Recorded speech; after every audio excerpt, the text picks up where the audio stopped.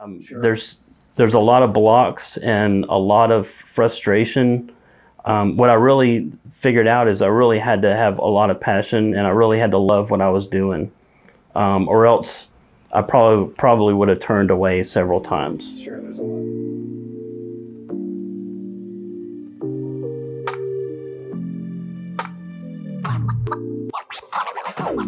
Uh, well, welcome everybody. Uh, I'm I'm Shannon Murphy, um, better known as Murph, and my art handle is uh, Mowse Cafe.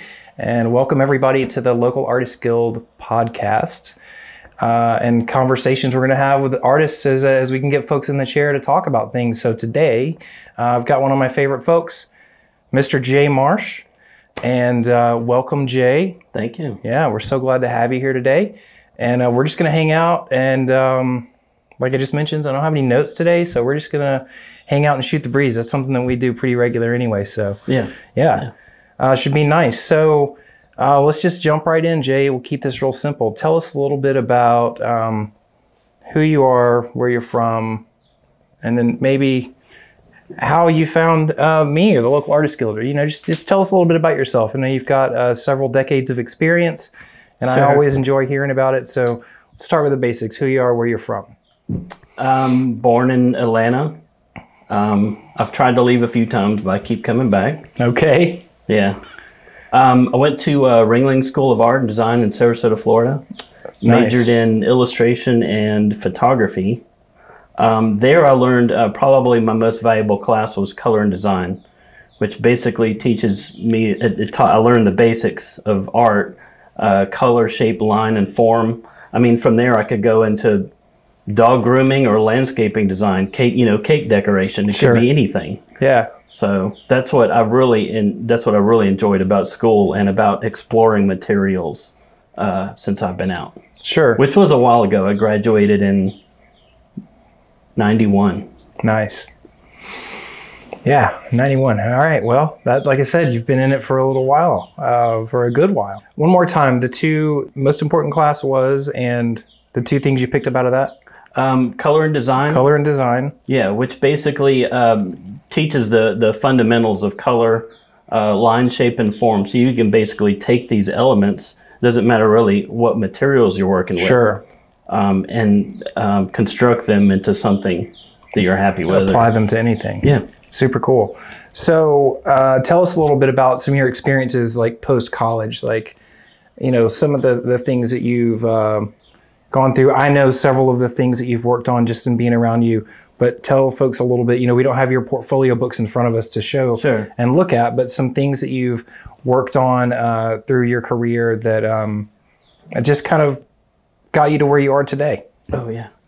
So um, I'd like to mention that before college, I actually um, I was airbrushing a lot of T-shirts, and I traveled with the fair circuit for a while. That was one of the things I, I helped uh, helped me save up for college. Sure. So that was late, eight, uh, mid, late eighties. Yeah, Okay. yeah. Yeah. Yeah, um, that was a lot of fun following the the fair circuit around in, in South Georgia. Um, after college, uh, I started going around with my illustration portfolio, and my parents are artists. I started working my way around uh, these industry professionals, and when they saw my work, they didn't really know where to point me. I had a lot of science fiction and fantasy stuff, and um, they weren't really sure of the commercial uh, possibilities with what I was doing. So I just started to explore. I continued to airbrush. Um, I went into my brother and I built um, um, sculptural lighting for a while. Okay. Um, I dabbled in body painting for a while. Even did some uh, full shows where I painted everyone there, and it was kind of set up like a fashion show right. Right. um, uh, murals, um, and all this time I I was developing um, uh, a sense of um, certain forms and shapes that I was attracted to. Okay. So um, elements of nature, like uh, uh, chaotic elements of nature, tornadoes, hurricanes, Sure. floods, lava, um, and um, you can see some of these shapes. Absolutely. So Yeah, absolutely. Yeah, the things that you're talking about uh, flush out in your work just organically, and that's that's a really cool thing. But it's interesting to hear about how you've built upon you know the basics and, and the building blocks of art, and then you know you're looking for answers and seeking how to apply that,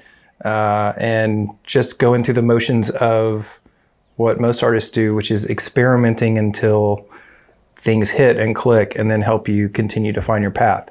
So Yes. even with your decades of experience, do you still feel like that's something that you do regularly, or are you contained by styles or stylings that you are comfortable with? Or tell us a little bit about that. Several years out of college, it was all traditional media. Sure. Um, but uh, eventually, I needed to find some steady income, and my parents are graphic designers, so I went into graphic design for several years. okay. Um, I found the problem solving in that was very interesting, and of course, uh, the basics of design. Um, I could still use all of that. My my dad helped me with typography. That was that was a, a whole new element that needed to be that I needed to learn about. so lettering. Yeah, Okay. I did graphic design for several years, and this sort of was a, a nice segue into the 3D world. Um, but yes, I'm still experimenting. I still, a lot of times, I'm not really sure what I'm doing.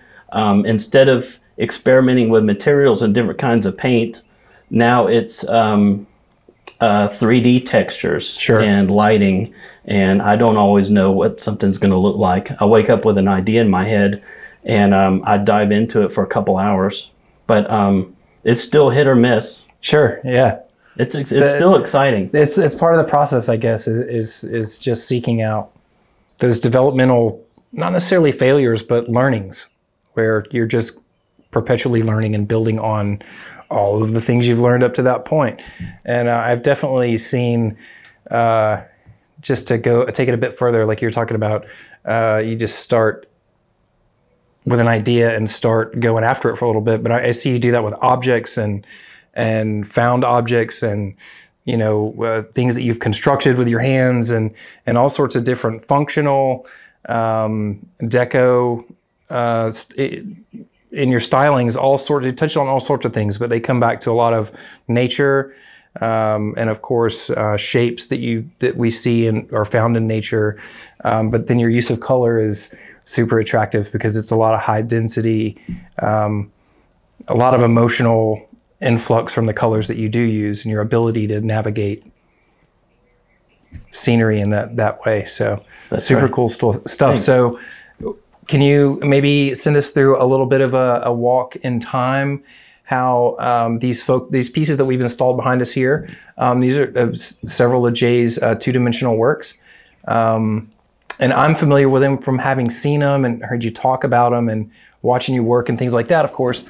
Um, but tell tell folks a little bit about your um, uh, about the patterns and and of course the repetition and um, and how you integrate different mediums that folks might not anticipate or see in your work that I only know about because we've talked about it. So you'll overlap certain mediums to get different effects and things like that. And I think that's really interesting and something that you do because I see people trying to figure it out and they're not really sure what what you did. And so, so a lot of times, you know, people are trying to figure out how you a- achieved uh, certain imagery. So can you tell us a little bit about your um, unabashed use of different mediums when it's not super obvious? Like it, you use them to build more effect. Oh yeah, yeah.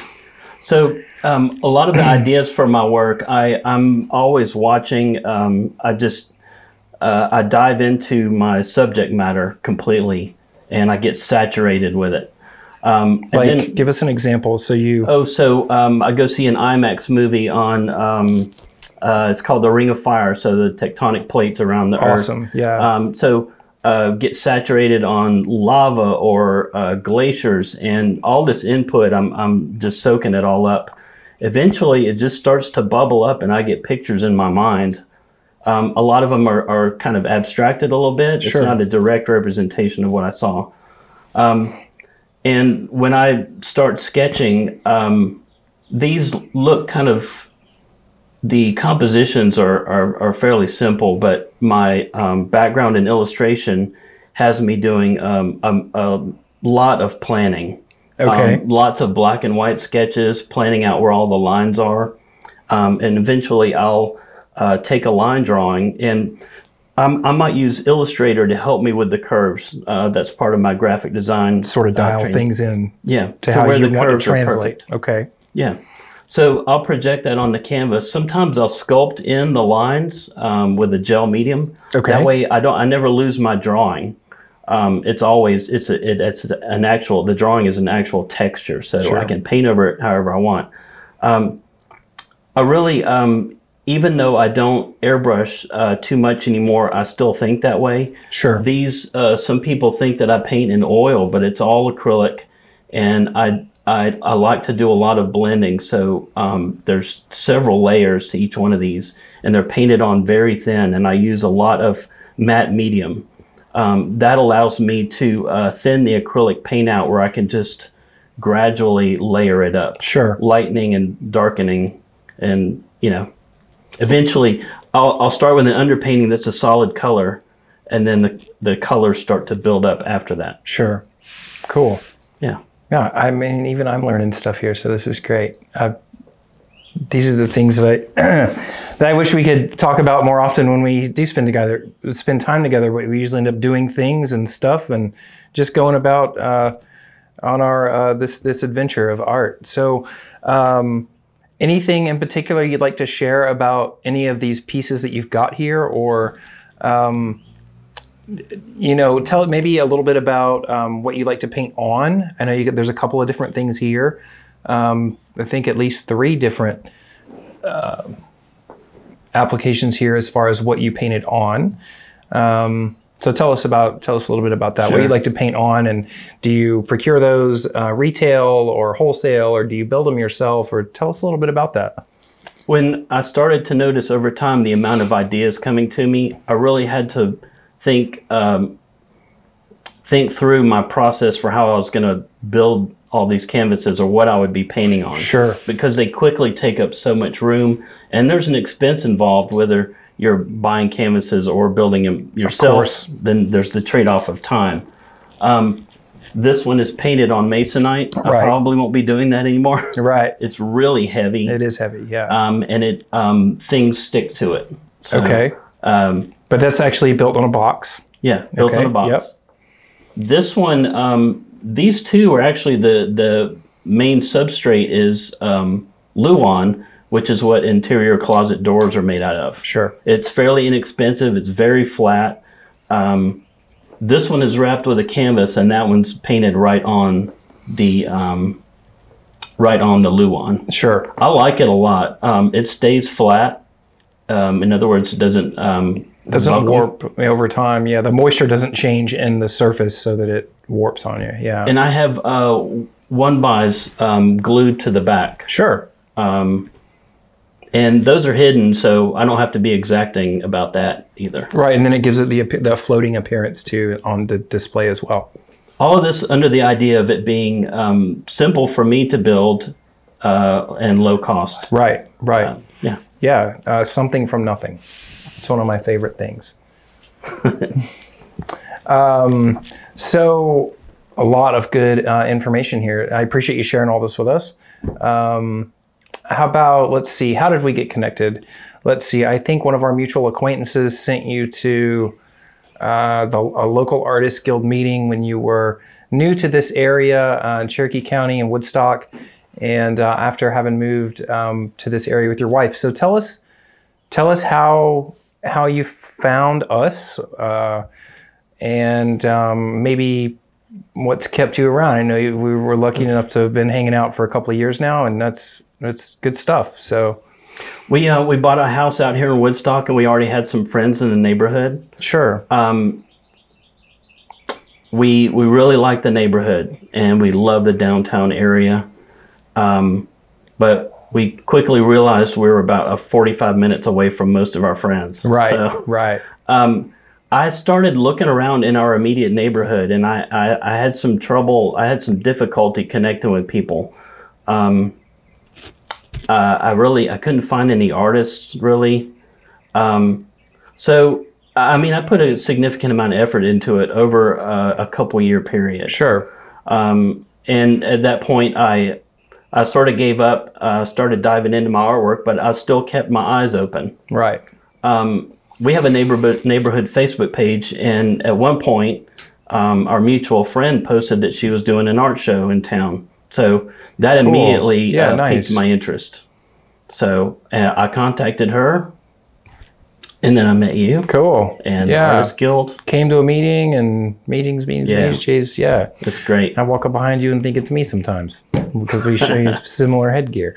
Um, but it's it's always great to have you around. Your you know your longevity and your endurance in um, and being an artist as a professional for so long, uh, I think just carries so much value, and especially in just sharing insights and ideas and experiences.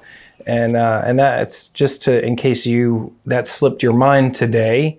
Uh, all of those things that you bring to the table are invaluable and so so just greatly appreciated uh, because you know if anybody asks you're um, open to conversation or exploring ideas and uh, especially when it comes to creativity uh, or any sort of uh, creative or artistic applications or advice or uh, sourcing you know it just it just this wealth of uh, knowledge and experience jay and that's just really something that's it uh, really important and and I really appreciate about you.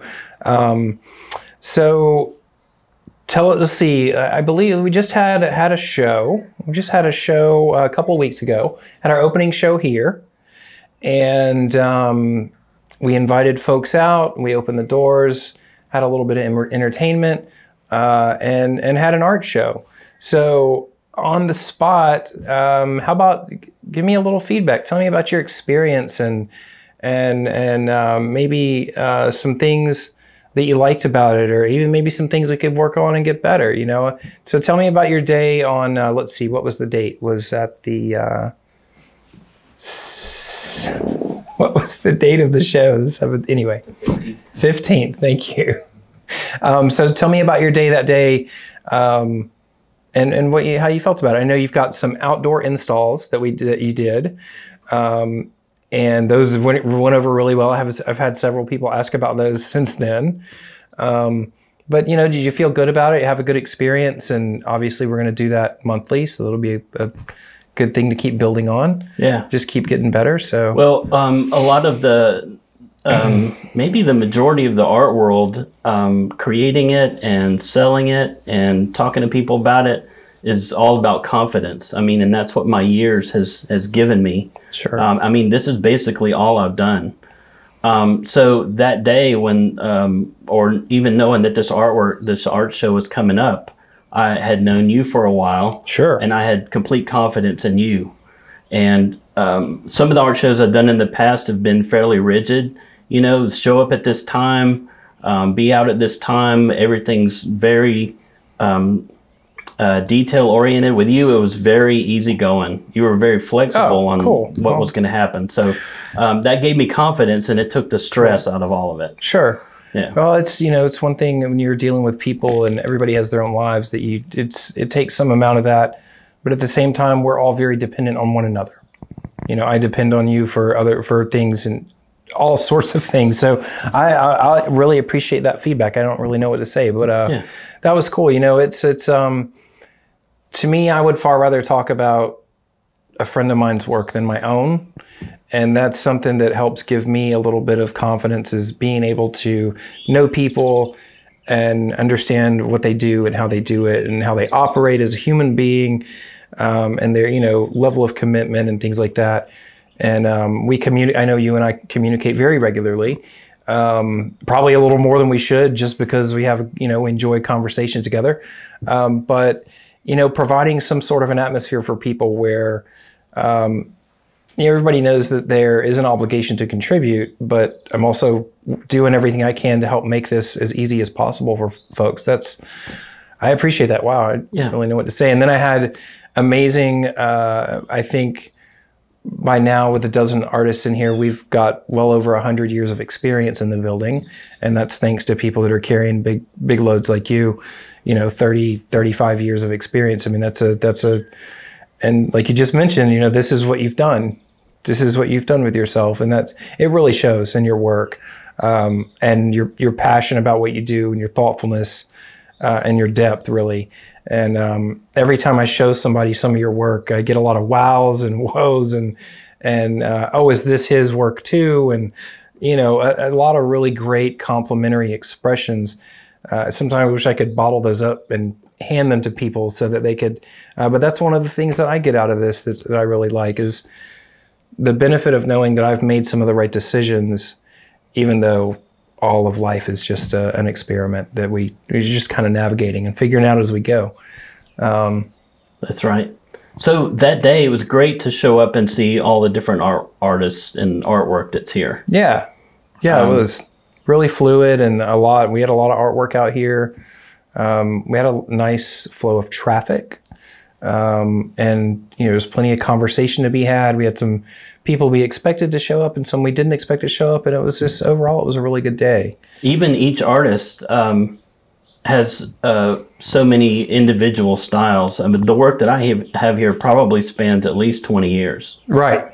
Yeah. Um, some are 20 years old, and um, a couple that I installed here are were maybe just a few days old. right. So- Right. And there's a wide difference between all of those. Sure. Absolutely. Uh, can I stop you guys for a second? Yep. Are you guys like hot right now? Because it seems. Yeah, we'll take a break for a second. Can you, can you tell us a little bit about? Um, you've got paintings and sculptures and this and, and and all of this depth of work and knowledge. So tell us about what you do um, to make a living specifically. I don't know if you can mention uh, that you're the company that you work with or not, and that's okay. Um, but tell us tell us about what you do at your day job. Yeah, sure. So, um, these paintings and my love of these um, forms in nature, I also briefly got into. Um, I started doing yoga when uh, I met my wife, and I needed really good reference of. I need, I needed really good figurative reference. Sure. Um, I was trying to get her to pose and so, get in some of these yoga poses, and she can't hold them for 20 minutes while I'm moving all Right, my lights right. around. So I started to look for um, uh, digital figures that I could pose and I could light them however I wanted. Okay. I, I discovered this program called Daz Studio. Um, I really fell in love with it. It became much more than a reference uh, program for me. I really that's I started uh, tinkering with surfaces and these shapes that I fell in love with over several years. I started creating them in 3D form. Um, so I could go back, I could use these shapes to in my painting reference. Sure. And uh, I guess I started this in 2012. I was tinkering with um, some ideas, and I put I joined the uh, community forum for Daz Studio, Okay. um, and I did this to you know get some uh, technical support and to see what other people are doing. What I found is is that there's a there is a lot of support there, but in multiple areas, and uh, I started posting my work, and a few people said that I could sell what I was doing.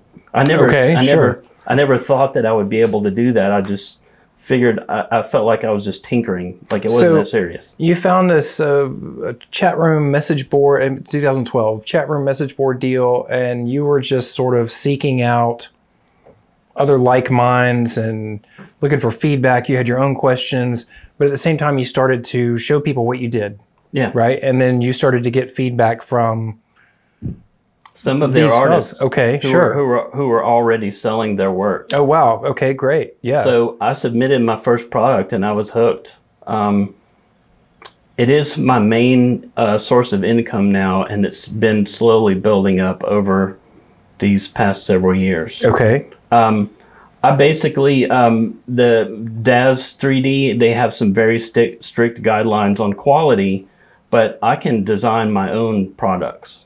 Okay, sure. Um, there are some minimalist guidelines to to follow, but I don't I don't make bikinis um, or anything that's they're going to have to figure out whether it's acceptable or not. sure. Okay. So I mean, most of my stuff is still along these lines. It's still very environmental. It's a lot of lighting, um, atmospheric effects, and um, I'm I'm basically doing that all day, and um, I really love it. It's it's wide open as far as what I create wow. That's um, cool. the um, the income is royalty based. I can um, so each product kind of trickles in income, you know, a couple times a month, and I think I have about s- 50, 60, 70 products now. Sure. Now, I took a moment to um, do some homework and look at your product offering uh, some weeks back just to get another feel for who you are and, and what you do, all of what you do, because you do so many things. So, uh, having seen it, it helped me understand a lot of the things that you tell me about in what you do. Uh, and these environments and lightings and, and objects and structures and, and forms that you you build and manifest from your mind, but you you they're uh, built on this platform, and this is a, a sales platform for you also. So I Again- love that part of it. Okay. I just have to make the artwork. sure, They handle everything else. that's really cool. So you just give them your creation, and they manage the product offering, sales, and all that stuff. Yeah, and it's optional to me. I do provide some product support in the forum. Okay.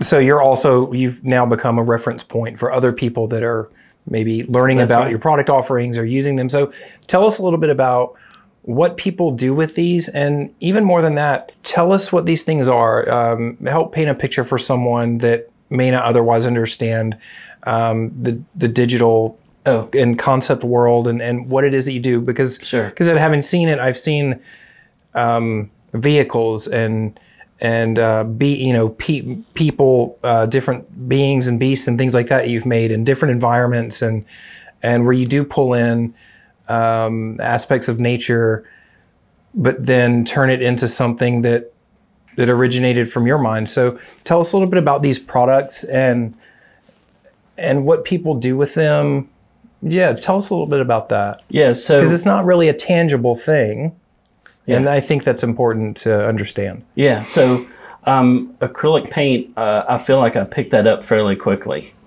Um, the 3D content creation in the CGI world is huge. Sure. I mean, what's when you're uh, you're watching movie credits? What's the, the the big the biggest group of people that you see? It's like hundreds of people that did all the, the- texturing the and the digital lighting, animation, yeah, right? rigging, right. all of this stuff. So um, it's so it's so vast and so specialized. You you just have to have all these hundreds of people.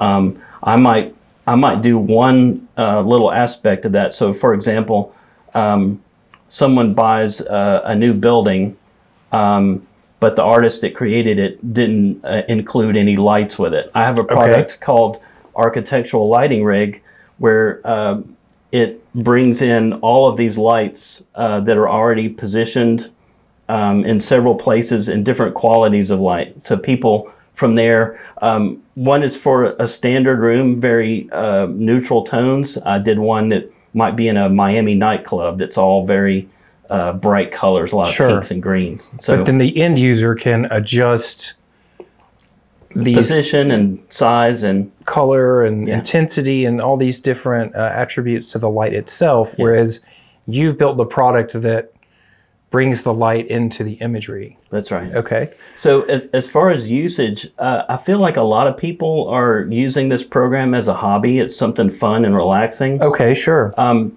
the the content can be used commercially. Um, there are additional licenses if someone wants to put it into a video game or have it th- or have something 3D printed. Sure. But for the for the most part, any animation or still images, people can use them for anything that they want. Um, and I don't I don't see a lot of end result. So you're you, you're building all of these different parts to images that other people are building or um, in, i- integrating into. Uh, is it is it any animation or is it um, primarily um static images? Primarily still images. Okay. people um, are doing some animation with it, and there's been some plugins recently that have uh, helped that along. Some of the renders you can do now, um, I believe it's called Google Filament, has been added in. Someone can do a render what might take um, five or ten minutes before now is in a couple seconds. Okay. It's not quite as realistic, but it's really enabled people to do a lot of animation with it. okay. Nice. And this is some. This is your regular where your regular income comes from. That's amazing. So you sought out. You're looking for your people, and here you find them, and you show them what you're doing, and it turns into a long-term uh, career with finance. Of course, your career as an artist. It's just another way you can flex uh, all of your experience muscles and what you all of your know-how into uh, you know a, a livable thing and that's that's amazing to me i don't understand most of what you say when you talk about it uh, but when i look at the image images and the product offerings that you do have out there it helps me piece it together because you know I, i'm all manual. I don't do any digital work. So it's one of those things when i talk to jay the artist that does airbrush you know masterful airbrush and acrylic i relate to much better than um, when i talk to digital jay even though digital jay is really that's you know your mind is always there and always operating and like you i think you were telling me a few minutes ago that you've gotten to where you can build a model in your head and move it around and sort of tilt and see all the contours and and then translate that into the product offering with uh, with Daz. Yeah, and it's helped me to go backwards too. If I'm going back to painting, Sure. um, it's helpful for me uh, now that now I think in three dimension rather than two. I've always tried to make my work dimensional, but Right. there's there's an added layer now where I can actually um, rotate, scale, and change things Sure. in Yeah. my mind before I, I put them down on paper. I know we've both talked to plenty of artists over the years, and and um, and just in general. Um, tell us about some of the, you know, with your experience, and you know, I come to you for advice and and suggestions about things, and I know that can be mutual depending on the application. But at the same time, tell us about.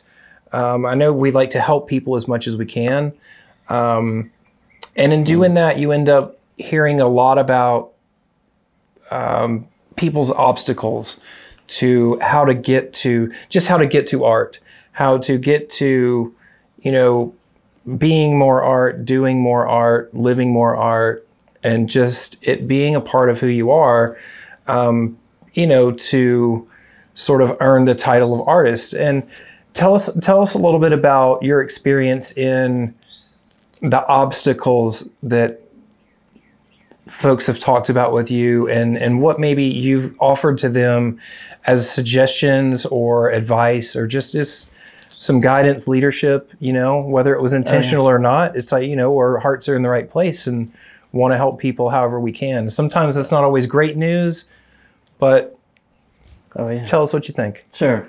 Um, well, I uh, like I said, I'd been in graphic design for a while. When I discovered the 3D world, um, I had um, a lot to learn. Um, I mean, basically started from scratch. sure Um, sure There's there's a lot of blocks and a lot of frustration. Um, what I really figured out is I really had to have a lot of passion and I really had to love what I was doing, um, or else I probably probably would have turned away several times. sure there's a lot to that Yeah. i agree Yeah. yeah So um, over the years, I've had people come to me and they are interested in art. They don't know where to start. Um, I typically hear I, I can't draw a stick figure. yeah that's that's a pretty high one on the list yeah so, um, um, you know, going into uh, asking them a few questions, I generally try and recommend that they start with something simple. Um, uh, it's it's low cost. Um, I hear you know people say I don't know how to mix color. I don't have the time to mix paint. I don't have time to wash brushes. Um, and I generally recommend someone start with just a sketchbook and either some colored pencils or markers sure um, you right away you start to tinker with something, and um, it's I think it's important to do it on a regular basis, like working out. Sure. Even just a little bit a day, to where you start to open, you start to open the doors and keep the the doors open for that creativity. sure Um, it was important for me to um, uh, join a community when I joined the Daz 3D community um, because you get support from people and you get ideas. There's when you start sharing your work, you get ideas for things you never thought of. Um, it really helps the momentum of all of it. right the feedback is just super helpful Yeah. yeah that's great So there you have um, materials and the frequency, which is daily, and then some kind of a community uh, for support. Um, sure I've been spending a lot of time on Instagram and Pinterest lately too. There's so many ideas there. Cool. Circling back to Pinterest. That's Yeah. cool.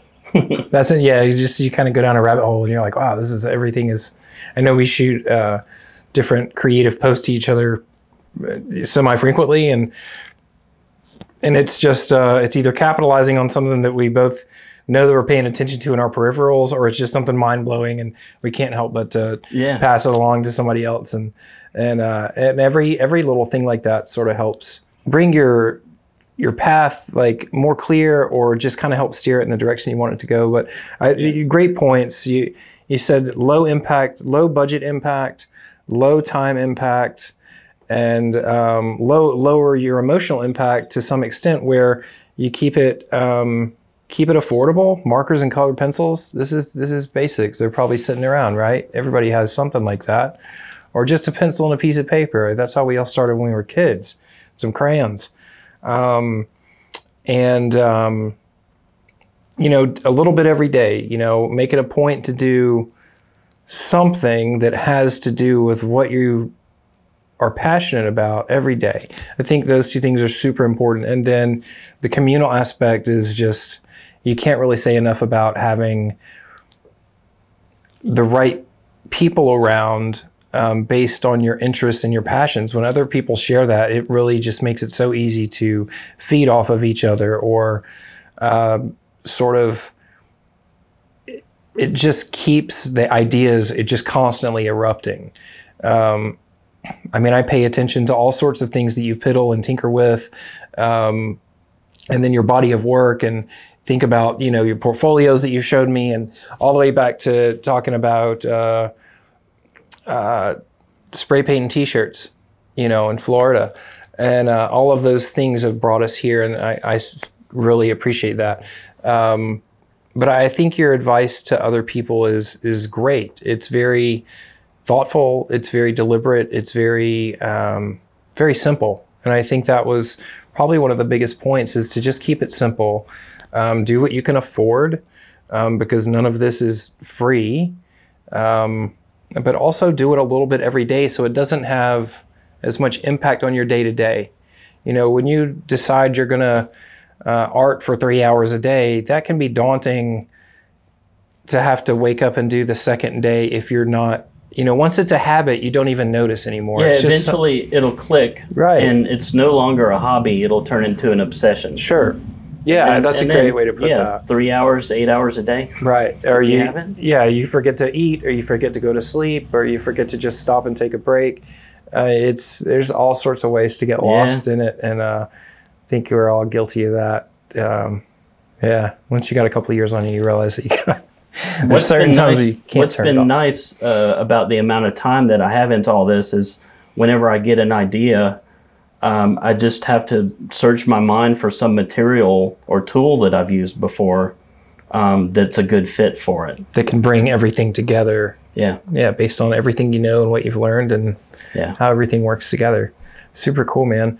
Well, Jay, I really appreciate your time today Yeah, and thank you. and and and coming to talk with us and uh, telling us about your work and who you are and what you do. And uh, I'm really looking forward to when we circle back and and um, talk with you again and maybe you know dive into some deeper things and and uh, specific ideas. And because I know how you know your brain it it goes on tangents and you, you have these thoughts and stories that go along and they're great. So uh, I, I can't wait to do this again man. And we're gonna get some uh, get some shots of your work and Very and, uh, and share it with people. And um, just to remind everybody uh, to check out the local artist guild podcasts and uh, the local artist guild. And we're appreciating our uh, producers uh, eric and nicholas today and uh, all they're doing for us to help put things together. So thank everybody so much and can't wait to see you again jay. Very good.